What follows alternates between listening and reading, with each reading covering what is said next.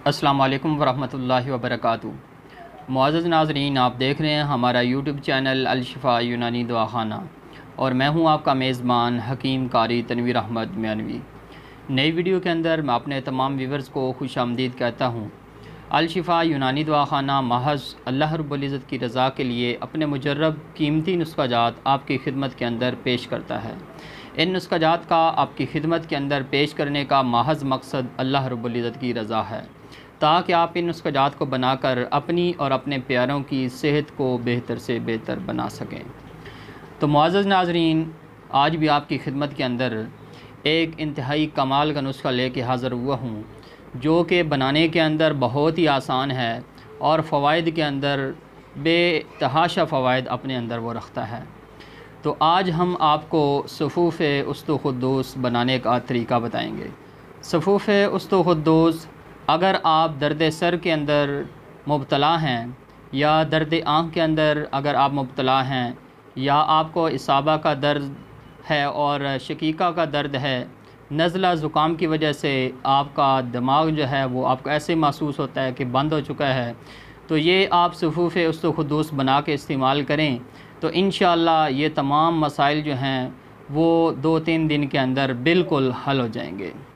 तो ये सफ़ूफ़ उस्तुखदूस का नुस्खा पेश करने से पहले मेरी आपसे छोटी सी रिक्वेस्ट है कि आप हमारे यूट्यूब चैनल अलशिफ़ा यूनानी दवाखाना को अभी सब्सक्राइब कीजिए और साथ लगे बेल के निशान को प्रेस कीजिए ताकि हमारी आने वाली हर नई वीडियो सबसे पहले आप तक पहुँच सके। और आप हमारी इन मालूमती वीडियो से इसी तरह फ़ायदा उठाते रहें। तो मुआज़ नाजरीन, अब आते हैं आज के नुस्खा की तरफ़। जैसा कि मैंने आपको बताया कि मैं आपको सफ़ूफ़ उस्तुखदूस बनाने का आज नुस्खा बताऊँगा।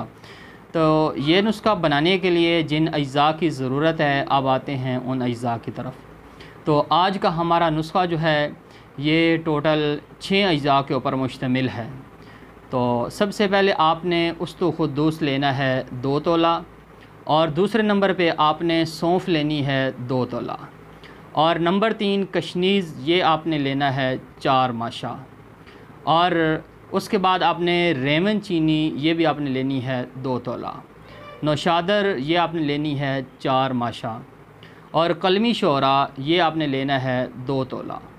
तो ये सफ़ूफ़ उस्तुखदूस बनाने के मुकम्मल अज़ा हैं।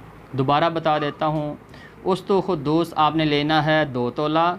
और सौंफ आपने लेनी है दो तोला, और कशनीज़ आपने लेनी है चार माशा, रेमन चीनी आपने लेनी है दो तोला, और नशादर आपने लेनी है चार माशा, और उसके बाद कलमी शोर आपने लेना है दो तोला।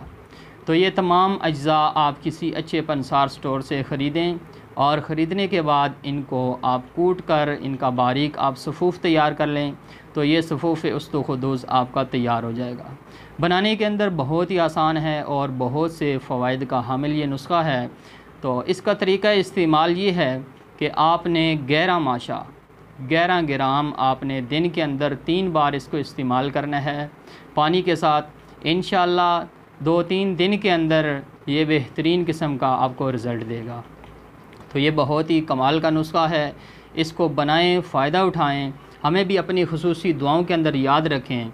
हमारी इन वीडियोस को लाइक करें, इनको शेयर करें और कमेंट्स के अंदर जाके अपनी राय दीजिए। इसके साथ ही अपने मेज़बान हकीम कारी तनवीर अहमद मानवी को इजाज़त दीजिए। अल्लाह हाफिज़।